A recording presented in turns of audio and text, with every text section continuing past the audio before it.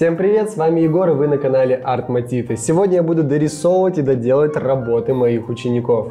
Посмотрев это видео до конца, вы сможете избежать многие ошибки и поймете, как одна деталь может изменить весь портрет целиком. И будем сейчас рисовать будущего красавца Леонардо Ди Каприо. Давайте начинать. Оп! Вот я, я, я. О, о. Итак, у нас есть первоначальное здесь построение, нанесли первый тон, что здесь можно было бы улучшить? Ну, во-первых, я бы не давил так сильно жестко на контур, обратите внимание, да, на губы, на нос, очень сложно исправить. И, допустим, у нас очень нежный контур нижней губы, и нам не нужно там ничего давить, нам сложно будет его здесь, конечно, обыграть. И нос лучше всего, конечно, это все аккуратно намечать овалами, то есть мы стараемся избежать контурных таких жестких э, линий и обводки. Также вот первый слой, да, мы делаем диагонально, но он слишком жесткий. Я бы его наносил полегче, э, не так э, плотно, может быть, э, взял бы поострее карандашик, немножко рыхловатый, да, штрих. И там, где у него есть волосы, мы не штрихуем диагонально, потому что мы знаем, что волосы штрихуем по росту э, волос. И я покажу фрагмент, потому что тут можно дорабатывать портрет весь целиком, уйдет очень много времени. Давайте на примере глаза да, его разберем, а, как можно его сделать красиво, хорошо и надеюсь для вас это будет полезно. Для начала мы утвердим здесь э, само построение да, глаза. Нам нужно чуть-чуть его уменьшить. Да, я смотрю форму глазика. Здесь будет, да, этот слизник, он тоже будет чуть-чуть поменьше размера. Всегда, когда у нас большие глаза, они придают такую мультяшность.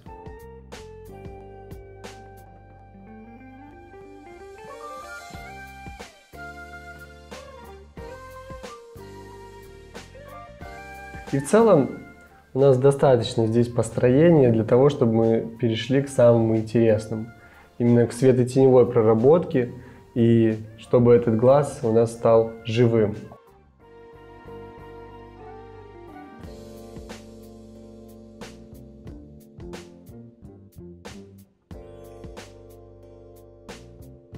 Друзья, если вы хотите, чтобы мы разобрали ваши работы, подписывайтесь на наш телеграм-канал, присылайте работы в комментариях и постараемся разобрать и вашу работу тоже. И дальше заключительный этап это супер клячка и делаем сначала супер блик. Участники марафона называют это магия клячки. Здравствуйте! Друзья, если вы хотите научиться рисовать глаз, то подписывайтесь на наш YouTube канал. И в следующем видео мы поделимся этим секретом. И наш супер глаз готов.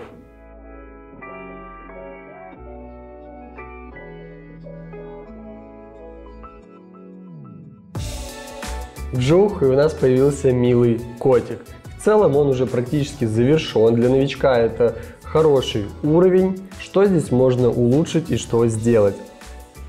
Грубоватая диагональная штриховка, то есть мы видим э, штрих, нужно добавлять мягкости, она вырабатывается за счет послойности. Если бы мы нанесли еще побольше слоев, легких, накладываем друг на друга, то он был бы в целом плотнее, мягче и еще реалистичнее. Я покажу на этом фрагменте, как у него на груди сделать более-менее такие реалистичные э, волосинки, чтобы они здесь прорисовались. Для начала еще одним диагональным слоем плотненько я пройдусь по этой области. То есть, чтобы получить светлые линии, пятны, участки, мы сначала должны его все равно заштриховать. То есть все светлое мы получаем из темного. Дальше беру клячку, сминаю ее плотненько двумя пальцами, да, вот так чик. И этим ребрышком клячки я могу вот здесь как раз таки уже начать делать его шорстку на груди. Точно в такой же технике мы бы делали здесь усы, да и в принципе все остальные другие белые участки и всю его э, шорстку. Делаю по тому направлению, как растет у нас шерсть, то есть она у него прям равномерно по бокам направлена в сторону. Мы можем также вкраплять сюда, добавлять какие-то темные волосы, да, особенно ближе к корню, да и под подбородком, где падающая тень. Либо наносить это с обратной стороны, здесь утемнять эти участки.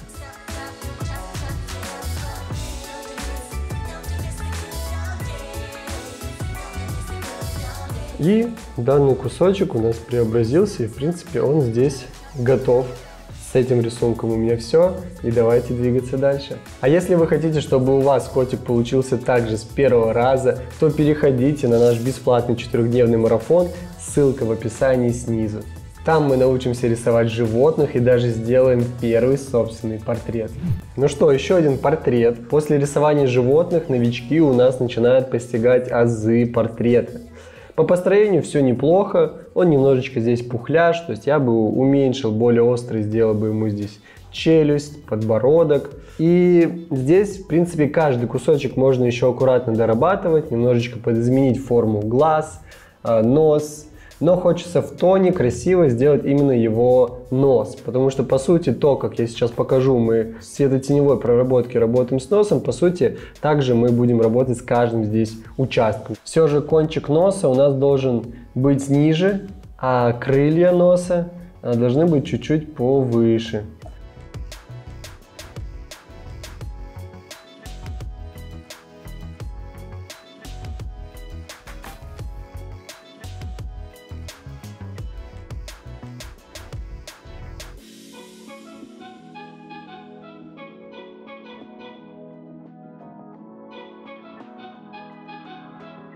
Когда мы рисуем портрет, мы иногда пластические хирурги, иногда мы делаем будто здесь где-то ботокс, справку носа, иногда мы с вами бровисты, иногда мейкаперы, добавляем румянцев.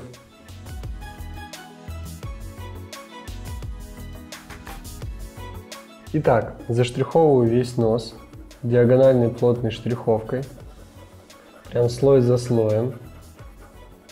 Не нужно переживать, что там тоже а, белый-белый блик. Мы его потом сделаем клячкой.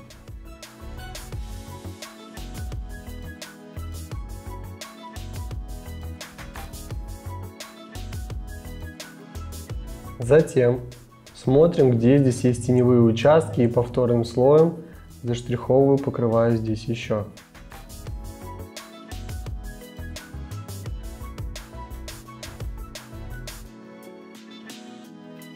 Здесь правую часть носа, носа тоже заштриховываю, затемняю.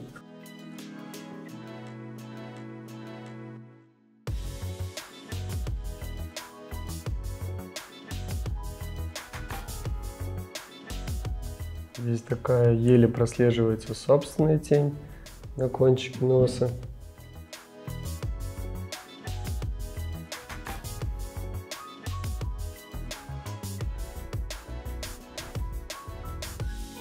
Друзья, кто тоже расслабляется за рисованием, либо когда наблюдает, что идет процесс созидания, сотворения, рисования, то поставьте лайк, если вам это тоже нравится и плодотворно на вас это влияет. Это поможет нашему каналу развиваться и расти. В несколько слоев заштриховали, сделали такой темный-темный нос. И сейчас будем работать как раз таки с клячкой делать его объемным и красивым.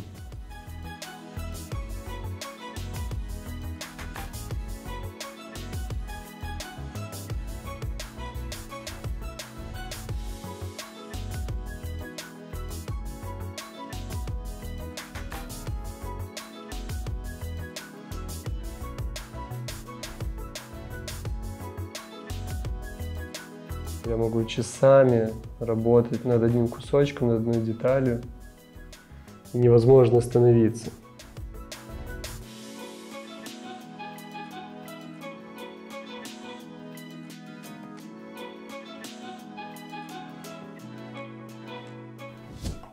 Лайк. Нормальный нос. С пивом потянем.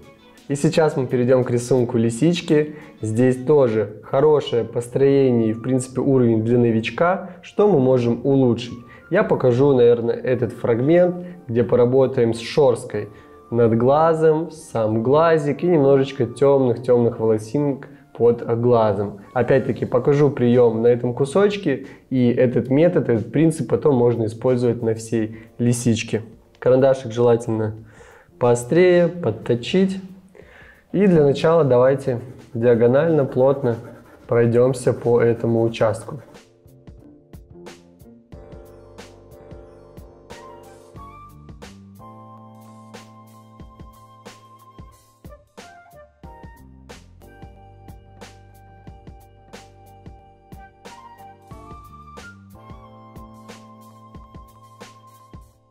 Посмотрите, друзья, я сделал более контрастным здесь глазик, обводку, зрачок.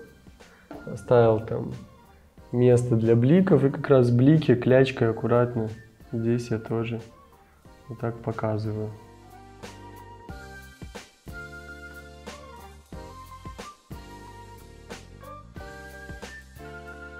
Дальше здесь у нас светлая шерстка. Клячку тоже сминаю. И тонким ребром клячки аккуратно здесь показываю эти волосинки. Делаем несколько движений, клячка забивается грифелем, помните ее пальцами и потом снова. А вы жесткими ошибками работы не храните или они сразу их Да у нас просто все ученики идеальные, поэтому не нашлось таких работ. Ну, типа на этапе построения мы же сразу исправляем? А вот если работать без учителя, наверное, Если работать без учителя, то будет много ошибок в построении и в пропорциях. Вот если я здесь дорабатываю в основном по тону, по мелким деталям, какие-то нюансы по штриховке, то учитель вам поможет не ошибиться на самом, по сути, важном и первоначальном этапе именно пропорции и построения. Поэтому, друзья, путь я сам, самый долгий путь. Выбирайте себе наставника, учителя, школу, сэкономите кучу-кучу времени. А еще сэкономите кучу-кучу времени, если прямо сейчас подпишитесь на наш YouTube канал. Ну, в общем, действительно, тут можно еще дальше вот так долго-долго играться, прорисовывать каждый-каждый кусочек. Да, ухо, если бы мы исправляли, мы бы также диагонально плотно заштриховали, темные участки прошлись бы еще раз и мелко, аккуратно клячкой прорабатывали бы здесь тонкие светлые волосинки. Но, повторюсь, даже для первого раза, для начального уровня здесь очень хороший результат. Друзья, если вам был интересен и понравился такой формат видео, ставьте лайк, напишите об этом в комментарии, и мы снимем еще для вас разборы, доделывания и исправления работ наших учеников. На этом у меня все. С вами был Егор и канал Art Matita. Пока-пока.